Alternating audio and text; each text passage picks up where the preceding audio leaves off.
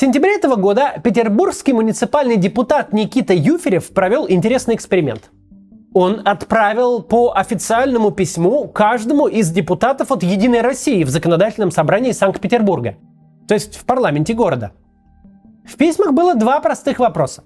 Поддерживаете ли вы политику Владимира Путина и специальную военную операцию на территории Украины? И что вы думаете? Из 30 депутатов-единороссов лишь один отважился ответить «да» и «да». Путина поддерживаю, спецоперацию тоже – а все остальные нашли способ соскочить. Мол, все это не находится в ведении ЗАГС собрания, на вопросы личного характера депутат отвечать не обязан, ну и так далее. Депутат-единорос, он хоть и носит на лацкане значок с медведем, но по характеру скорее бурундук. Человек запасливый и осторожный. Еще зима не наступила, еще Херсон не сдан, а он уже в сентябре месяце смекает. Не стоит лишний раз расписываться в твердости убеждений и непоколебимости взглядов. Лучше как-то между стройками. Не раздражать ни нынешнее начальство, ни будущее, которое совсем скоро придет на смену. Вы, граждане, депутаты, единороссы тунеядцы, все правильно смекаете. И сегодня поговорим почему.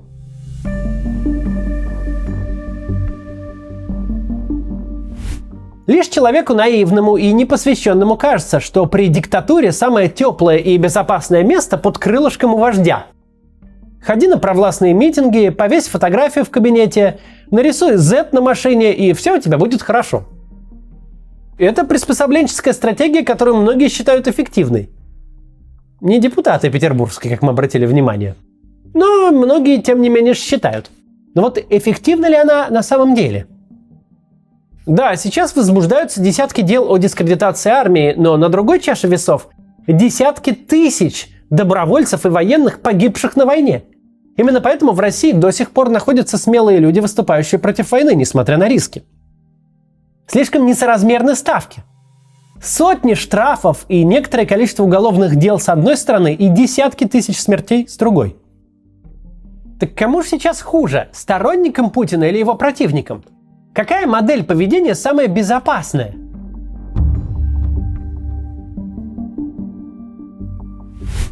Как репрессии проходили раньше? Самое страшное время в российской истории, если оставить за скобками Великую Отечественную войну, это большой террор при Сталине. Почти 700 тысяч расстрелянных и миллионы репрессированных. Помимо бывших белых, кулаков, царских чиновников и политиков всех сортов, в группу риска попадали почти все партийные начальники и сами НКВДшники. В этот период, например, из 139 членов и кандидатов в члены Центральный комитет ВКПБ, избранных на 17-м съезде, был расстрелян 101 человек. Еще пятеро покончили жизнь самоубийством. То есть погибли 76%. Центральный комитет ЦК – это орган примерно как сегодня Президиум Единой России. Да и судьба всех участников 17-го съезда незавидна.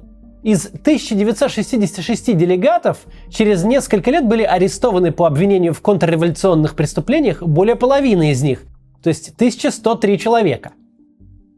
Да и самыми главными начальниками дела тоже обстояли не очень. Казалось бы, что может грозить всемогущему главе НКВД, который одной подписью мог казнить тысячи человек в СССР?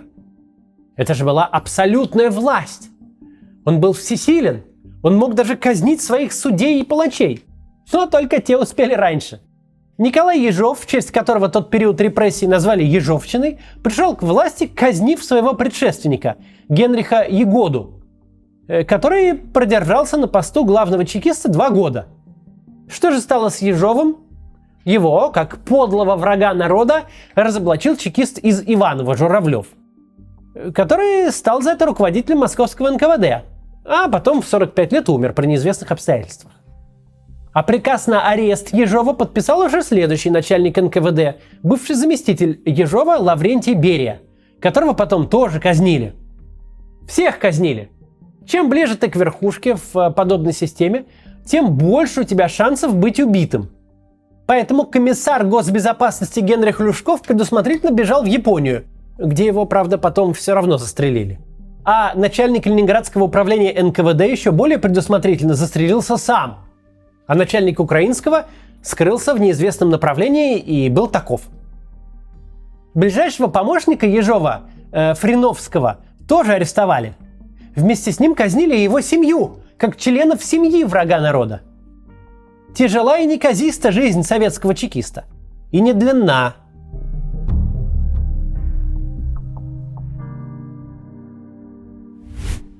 Я повторюсь, во времена Большого террора были расстреляны или совершили суицид 76% членов ЦК ВКПБ или кандидатов, избранных на 17-м съезде в 1934 году. Три четверти. Вероятность попасть под каток у них в 200 раз выше, чем у обычного человека. Среди обычных советских граждан вероятность быть э, расстрелянным была в то время 0,4%, что тоже немало. Ну и вот сидит Вячеслав Володин, например, и думает, я председатель Государственной Думы, что мне может быть? Действительно, погуглите Рыкова, например, Вячеслав Викторович.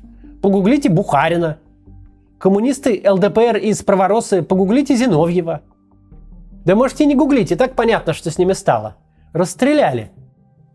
Напомню, что рядовым единороссам должно быть тоже боязно, потому что обычных делегатов репрессировали каждого второго. Почему так? Найти среди условных своих предателя гораздо почетнее и проще, чем ловить предателей настоящих. И это будут делать и в сегодняшней России, об этом надо помнить. О политиках и чекистах поговорили. Ну что там с военными? Тут можно вспомнить дело маршала Тухачевского. Его судили за организацию военного заговора в июне 1937 года. Все обвиняемые тогда были признаны виновными и расстреляны. После этого дела по СССР прокатилась волна репрессий в армии. В 1937-1938 годах были репрессированы 16 тысяч человек. Среди высшего командного состава Красной Армии процент репрессированных достиг 65. Кстати, вот пять первых маршалов СССР Репрессировано 3 из 5. С военными все еще хуже и страшнее, чем с той же партийной верхушкой или силовиками. Это одна из сил, способная захватить власть в стране, а значит они представляют угрозу. Толпы протестующих не смогут проломить стены Кремля, а вот кинжал или калибр, стоящий на вооружении, может. Космонавты Росгвардии могут остановить протестующих, но не танковую роту или мотострелковый батальон. Поэтому военным жить в диктатурах намного опаснее, чем обычным людям. Военным, чекистам, высшим чиновникам, да и просто чиновникам. И все это будет, будет и у нас. Сейчас поговорим об этом и что с этим всем делать этим людям. Но сначала небольшая реклама. Зарубежные бренды ушли из России. Но что делать, если вам хочется джинсы Levi's или джемпер из Uniqlo – а ваш ребенок хочет тот самый набор Лего, который теперь достать невозможно. Возможно. Вы можете заказывать брендовую одежду и обувь из США с помощью сервиса Бокс. С Бокс вы получите доступ к ассортименту, которого нет сейчас в России. Zara, H&M, Asos, Massimo Dutti, Uniqlo. А также сможете покупать детские вещи в uh, Carter's и Adidas – и лучше заказывать прямо сейчас, ведь в магазинах США вовсю идут распродажи на Черную Пятницу. Скидки на бренды достигают 90%. Вот, например, в H&M сейчас 70%. К тому же в американских онлайн-магазинах бренды вроде New Balance, Levi's или Calvin Klein продаются по ценам той же Zara. Это даже с учетом доставки. А еще вы можете с помощью сервиса заказать витамины с американского iHerb. Знаю, что многим не хватает. Покупать в США просто с просто бокс. Достаточно зайти на американский сайт нужного вам бренда, например, Zara, и выбрать товары. Если сайт не открывается из России, тогда установите и включите VPN, и все откроется. Затем отправляйте ссылки на нужные вам товары байерам просто бокса, а они выкупают заказ, используя свои карты. Спустя неделю-две вы заберете посылку в ближайшем пункте выдачи или на почте. Оплатить заказы и доставку можно картами российских банков, или другим удобным вам способом в рублях прямо на сайте Просто. Сервис не берет комиссию за пополнение баланса на сайте от 10 долларов. Доставка стоит от 3 долларов 99 центов и идет от 6 дней до Москвы. Что важно, у сервиса нет скрытых платежей. Зато есть служба поддержки 24 на 7, а также бесплатная переупаковка и объединение посылок. Промокод MaxCats дает скидку в 10% на первую доставку – Подписывайтесь также на телеграм-канал Просто Бокс. Все ссылки в описании под видео. Важно добавить, все эти товары не находятся ни под какими санкциями. Просто эти бренды не работают в России. работают в Америке. Ничего не мешает вам заказать их в России. Если нынешняя Россия и похожа чем-то на СССР времен массовых репрессий, то это тем, что близость к власти не защищает, а наоборот создает дополнительные риски. Институт проблем правоприменения еще в 2018 году подсчитал, что для высших чиновников риск оказаться в тюрьме в 15 раз выше, чем у рядовых образованных граждан. Это до войны. Среди силовиков все еще хуже. У нас на эту тему был отдельный ролик еще до войны, если коротко, то, например, аресты высокопоставленных сотрудников в СИН – это такая банальность, что на них даже особое внимание уже никто не обращает. Чиновникам вообще не приходится рассчитывать на широкую огласку. Губернатор Фургал, в защиту которого жители Хабаровска выходили на улицы несколько месяцев подряд, редчайшее исключение. Остальные отправляются за решетку без лишнего шума. Таких было много. Попробуйте вспомнить хотя бы одного. Эти люди не вызывают симпатии ни у сторонников Путина, ни у его противников. Никто не придет им на помощь. Поэтому рабочим способом сохранить свободу выглядит тихое увольнение, а еще надежнее – отъезд из страны. Быть искренним сторонником системы сейчас тоже так себе стратегия. При первых признаках мобилизации эти люди не бегут из страны, а покорно топают в военкомат, даже не прячутся.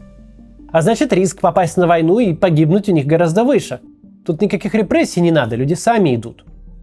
А теперь вновь обращусь к вам, граждане хулиганы, тунеядцы, единоросы. Вы э, бойтесь своей же собственной системы, а не ее развала. Провалится она в любом случае. Никакой капитальный ремонт этому провалу не поможет. Сколько денег на это не собирай. Командовать парадом совсем скоро будут нелюбимые вами либералы – Потому что имперцы всех мастей, великие завоеватели и полководцы и прочие кандидаты на должность короля солнца людям осточертели.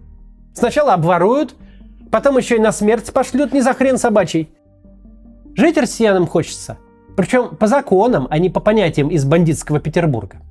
И если граждане власть придержащие и у власти рядышком стоящие, вы лично тяжких преступлений не совершали – если ваше отчество не Рудольфович, а фамилия не Соловьев, если вы ни в кого не стреляли и никого не призывали ни в кого стрелять, и никому не отдавали команды никуда стрелять, то вы лучше начинайте уже сейчас за ним знакомиться и дружиться с либералами.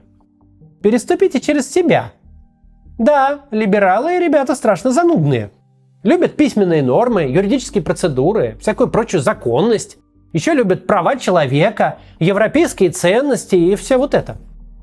Но вот в этом вот нашем занудстве и есть ваше спасение. Мы рубить с плеча не станем, к стенке не поставим, даже под суд всех по списку не загоним. Не будет у либералов-то таких возможностей и желания. Правовое государство-то так не работает.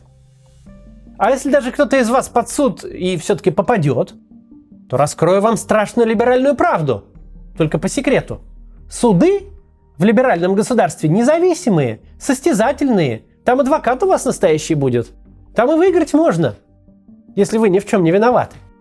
Или получить какое-нибудь мягкое наказание, если совершили вы какое-нибудь небольшое преступление.